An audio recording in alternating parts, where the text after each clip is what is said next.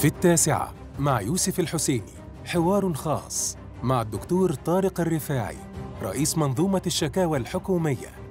كيف تحمي المنظومة حقوق المواطنين؟ وكيف يتابع المواطن شكواه وصولاً للحل؟ وما هي أبرز الخدمات التي تقدمها المنظومة للمواطنين لتقليل الشكاوى من المنبع؟